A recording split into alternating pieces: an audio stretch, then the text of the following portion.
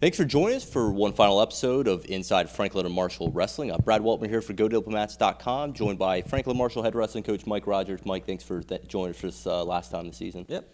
Uh, so we're going to wrap up season a little bit today. Uh, you know, you said in a Facebook post last week um, that you know this season had its up and downs, but overall you made some good steps forward for the program.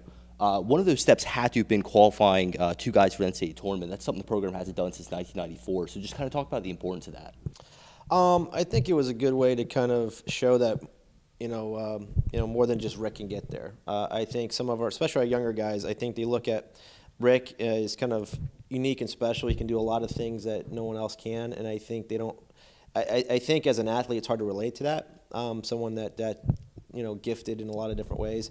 I think Pelusi. Um, not to take any away from his athletic ability, but uh, he's he's you know the I, would say the, the, the typical average Joe, you know, um, that worked hard. He was our backup, a 97 pounder last year, to being um, an NCAA qualifier, beating two, three ranked kids to do that um, nationally, ranking national ranked guys. And I think um, the team can look at Pelusi and kind of see like, wow, you know, we, we can do that. We can relate to Pelusi and and um, you know how he was able to, to get to where he was able to get to um, with a lot of hard work. And and the big thing with him, he you know him with uh, Coach uh, Borgia.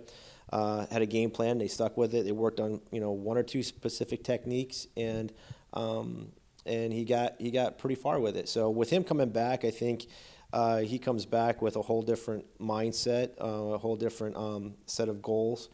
Once you get out there, you're, you're not the same person when coming back. You, you know, you you get out there, that's one thing. You're kind of almost, ah, it's nice to be out here. But then the reality is, if you didn't really accomplish anything out there, um, eats at you and it, it, drives you to kind of achieve higher um, and have higher standards. So, uh, again, I think for him getting out there, one coming back with that experience, kind of helping, and I think that helps our other guys too. If, if you know if Pelusi can get out there, I think I can do it too, and and kind of following his lead of, of finding your niche in the sport, finding your technique, and then you know plan your work and work your plan. Um, and he did exactly that, and worked closely with Coach Borgia. So um, I think that's going to uh, uh, carry over to the rest of the team.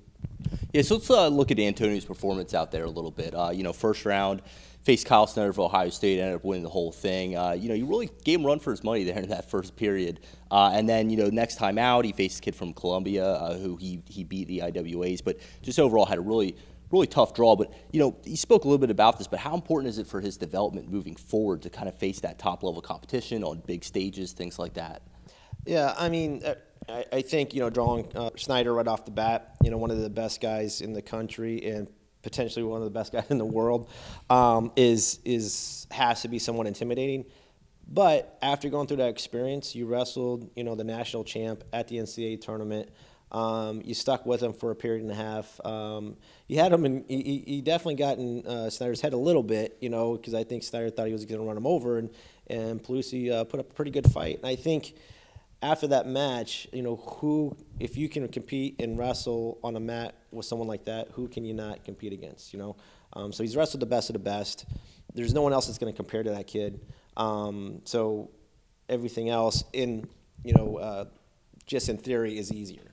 Um, so that, you can't put a price tag on that experience to wrestle one of our potential Olympians, maybe a, a gold medalist um, and a national champ. And then coming back through consolations, wrestling the Columbia kid, and um, you know he lost to that kid and then beat him at the conference. It's always tough to wrestle the same kid over and over. Um, that kid made some good adjustments. Um, it, again, it came down to really uh, Pelusi needed to get off the bottom, and that was the big factor uh, of the match. And even though he's done some good things on on finding his offense, he needs to do some things of areas improvement. And getting off the mat, getting um, his mat work, riding guys, and getting that that taken care of. Because I, I think you know a solid five or six of his losses came by a mat, uh, one or two points, and that's getting off the bottom and riding guys. So he knows what he needs to work on. Um, and you know you never want to go out there and, and, and lose, but also but losing to someone that you've beat previously, but you know, if you follow that tournament, it doesn't really matter if you beat the guy five, six, seven times. You know, it comes down to beating them when it counts at that moment in time, and and um, you know, so.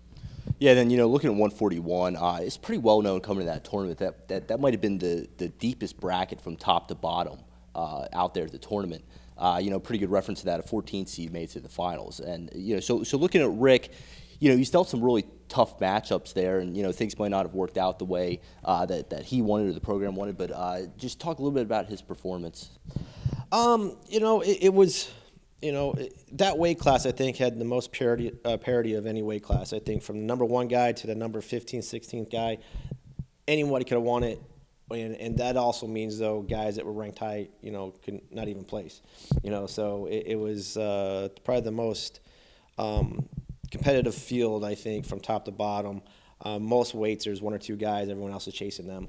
Uh, with that said, though, I, you know, with Rick's performance, I, I, he, you know, there's like I said, I said before, and I think I put this in my Facebook. You know, you can do everything right, prepare everything, and do everything you possibly do, and things may not work out. And that's life too. You know, you can do everything right, and uh, but there's no guarantees for anything. No one promises you. You know, no, there was no promise that he was going to be an All-American. I think he put himself in position to. He beat two guys this season that were um, All-Americans, the ODU kid and the and the Lehigh kid, um, both place, and he he beat those guys in the season, but um, wrestling out there at that time, and, and things just didn't work out. And and uh, I mean, looking at his his quarterfinal match, it came down to one takedown. He was on a shot and just you know uh, didn't finish it. Um, and that could have made a whole you know put him in a whole different situation in the bracket and whatnot. So speculation and, and looking back, I think can eat you up, and I, I do it probably more than anyone else. I think from a coach's perspective, what could have we done differently? Could we prepared them differently? Could have we done things differently in the warm up? But like I said, you can do everything you, you, you can, and, and things may not work out. But overall, his career is, is amazing. So I, I don't want to um, just sum it all up in just you know one one uh, one event. Yeah, and I mean, speaking of his career, I mean, even before the tournament, he already solidified himself as one of the greatest wrestlers in history, history of the program. You know, the only four-time NCAA qualifier, the only two-time EIWA champion. Uh, he holds the career wins record. He holds the top three spots in the season wins record. Uh, you know, and obviously we talked about he was an All-American back in, in 2014. Um, so just kind of, you know, we've talked about this before, but, uh, you know, what, what exactly does, do you think he means to the program? Um, yeah, you know, like you you, read off his rap sheet of accomplishments, and, and, you know if you if you look at his body of work, it's impressive. I mean, anyone would die for having half of those accomplishments. And when he was an All American in 2014, I, I kind of told him, I said, that's that's something very special because that's that's an elite club that you you'll always be a part of, no matter what happens your senior year. You know, you know, and and you know we'd always want him to be a two-time All-American and, and national champ. But you look at everything he's accomplished, and, and you know just what he's done has been very impressive. So you take in the whole body of work, you, you know you can't be disappointed with with his overall career. Um, what he's done to their program is, is amazing. He, I think he's put one, he's putting the program on a national level. People recognize them and and uh, started the conversation. Where is F and M? What's F and M about? And I think it also um, for our younger guys, it, it, it, set a whole different standard. You know, um, he raised the bar significantly. You know, for our younger guys to come come in and try to meet. So I think what you try to do, you set standards, and records are great, but they're they're also a carrot for guys to try to beat that win record or or be a two-time All-American or be the next national champ or let's get you know let's try to get three guys at the NCAA tournament instead of two. And you know so it's a way to kind of put a carrot or kind of set a standard for the other guys to achieve to. And he's done that. He's moved the bar up so high. Um, and and not only that he's he's um, opened us up to a lot of exposure with um, conversations, people seeing him on ESPN and, and, you know seeing his interviews, and and it's gotten us in the doors with recruiting, and, and it's kind of allowed us to grow the program on a national level just with his exposure and what he's done. So you know, I can't say enough about, about him as, as, a, as a person on off the mat. My kids look up to him. He's a great he's a great uh, influence on my kids. Uh, his his mom and dad are awesome. Um, parents they let us coach and they're supportive um, and let us do our jobs. And you know, and, and you know, the, the, the kind of the, the, joke on the team is, is Diva Durso. He's a little bit high maintenance, but you know what? I've been around a lot of top elite athletes. I've had All Americans. I've coached All Americans at Lock Haven American, and they're all a little bit different. You know, and there's a reason why they're different, and they all have their different quirks and different, um, you know, maintenance things, and and uh, you know Rick's no different. So it, it, was it was a pleasure to coach. It was you know he and he also not the way he wrestled was exciting. You know, he put on a show. He just didn't win you know with one takedown. He he wrestled with his whole heart and soul, and put everything on the line. And you know, for me, I, I can't ask any more from an athlete as, as a human being. So, you know, we're we're internally grateful what he's done. And even though he didn't finish the way he wanted to, I think he's going to look back years from now and be very proud. And his kids are going to be very proud down the road of what he's accomplished, and he can kind of show them what you know what he what he's able to accomplish, and it's great.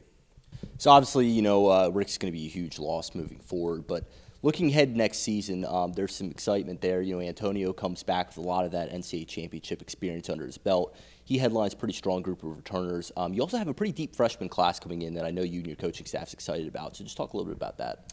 Yeah, with the guys coming back with um, you know Pelusi and Mancini and, and, a lot of these other guys, uh, Josh Young. Um, um, they're all hungry coming back, uh, ready to you know get after it. And our recruiting has gone really well.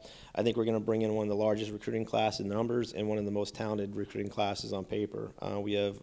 Uh, we don't want to, you know, we have to kind of wait till regular decision just came out, so we have to kind of let that kind of all kind of play out before we put out an official statement of who's coming. But we can say that we, we brought in, we're bringing in a couple Pennsylvania placers, we're bringing in a couple of uh, prep national placers, um, uh, you know, guys, you know, state placers, state winners.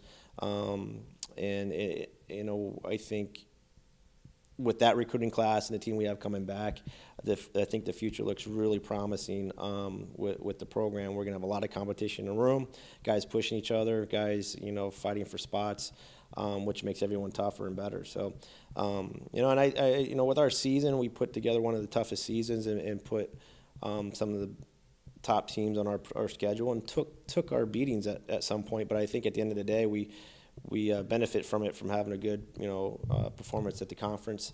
Uh, and I think we're going to look to do something similar um, maybe not as aggressive um, because we're going to be pretty young but we're going to put you know enough teams on our schedule that we're going to have to push and fight um, and scrap and I think we're having good success with individuals like Pelusi and Durso and, and some of those guys. But what we really need to improve on, what we're trying to do, is, is build the team, get more competitive in the dual meets. We need to have five or six guys winning out of the ten you know bouts, um, and that's what we're trying to do is is get more than just a, you know one or two guys having success. We want you know at least you know 60% of the, the team you know having somewhat success at dual meets and also tournaments. Well, Mike, thanks a lot for uh, joining us throughout the season and offering your insight. Really appreciate it. Thanks. Okay. Thank you for joining us. Be sure to keep an eye out on GoDiplomats.com throughout the offseason for all the news involving the Franklin Marshall Wrestling Program.